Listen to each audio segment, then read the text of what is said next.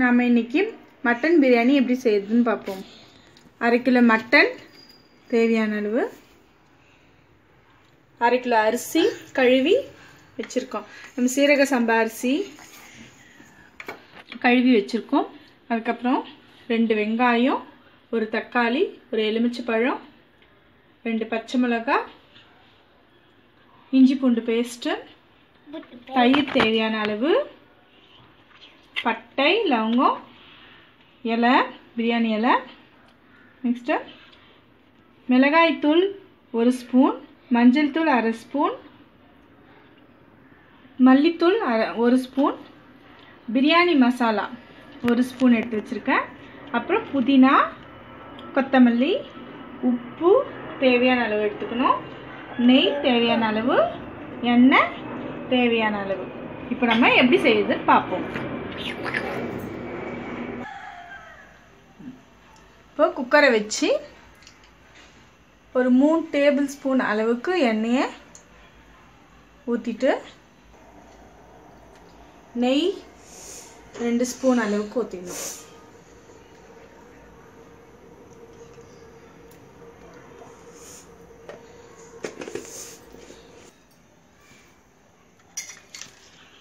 காஞ்ச பிறகு எண்ணெய் காஞ்ச பிறகு?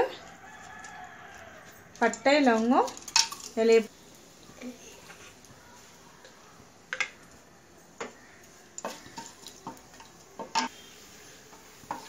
வதங்கின பிறகு வெங்காயம் போட்டு அது கூடவே பச்சை மிளகாயும் போட்டுருங்க வெங்காயம் வதங்க பிறகு இஞ்சி பூண்டு பேஸ்ட் அரைச்சி வச்சுருக்குது ஒரு ஸ்பூன் போடணும். கூடவே நம்ம கட் பண்ணி வச்சுருக்க தக்காளியை போடணும்.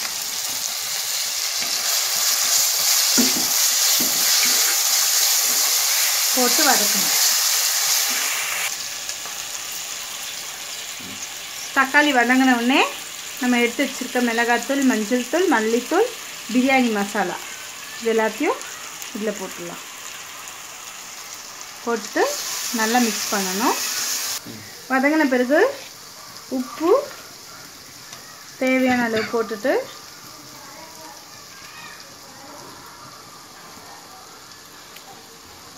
போட்டு நல்லா மிக்ஸ் பண்ணிக்கணும். அது கூடவே தயிர் நல்லா மிக்ஸ் பண்ணிக்கணும்.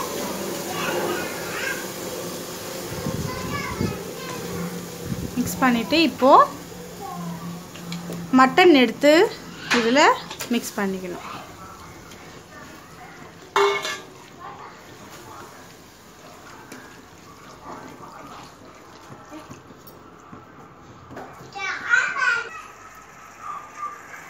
மட்டனை நல்லா அதில் போட்டு மிக்ஸ் பண்ணிவிட்டு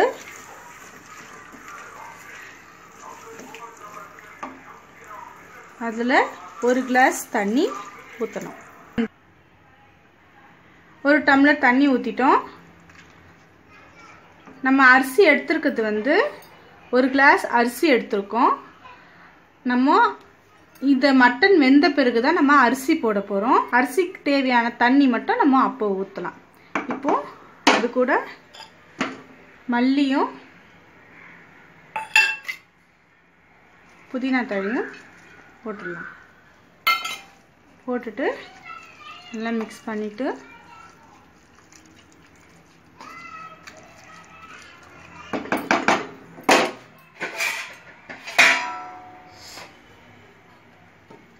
மூடி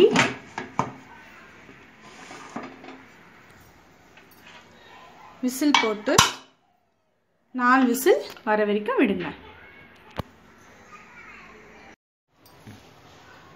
நாலு விசில் வந்தது. நம்ம இப்போ ஓப்பன் பண்ணுறோம் இப்போ கறி நல்லா வெந்துட்டுருக்கு. இது கூட நம்ம கழுவி வச்சுருக்கோம் பார்த்தீங்களா அரிசி? அதை போடணும். நல்லா மிக்ஸ் பண்ணிவிட்டு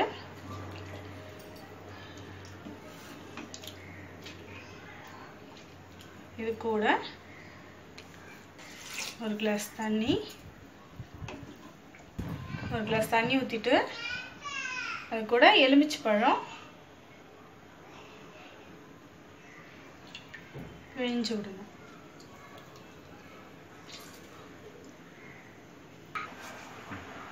டம்ளர் தண்ணி ஊற்றியாச்சு இப்போது எலுமிச்சை பழம் பிழிஞ்சு விட்டாச்சு.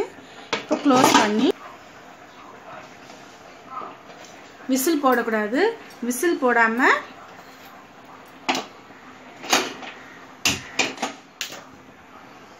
பத்து நிமிஷம் அப்படியே சிம்மில் போடணும். இப்போ விசில் போடாமல் பத்து நிமிஷம் விட்டோம். இப்போ இப்படி இருக்குது இப்போ என்ன பண்ண போகிறோம் கலக்கி கு- விட்டுட்டு திரும்பவும் க்ளோஸ் பண்ணிவிட்டு சிம்மில் போடணும். ஒரே ஒரு ஃபைவ் மினிட்ஸ் இருந்துச்சுன்னா போதும்.